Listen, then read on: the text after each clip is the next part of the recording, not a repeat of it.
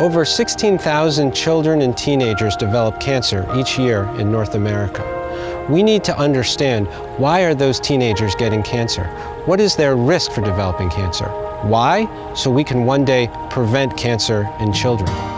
We're proud to announce this now, and Dr. Schiffman's research is being published, and we're happy to make the entire herd, which is the largest herd of Asian elephants in North America, available for this study. Cancer affects millions of families across this country. So to think that our elephants and our commitment to this species can be able to find a way and be a part of this incredible study to find a treatment for cancer is just absolutely amazing.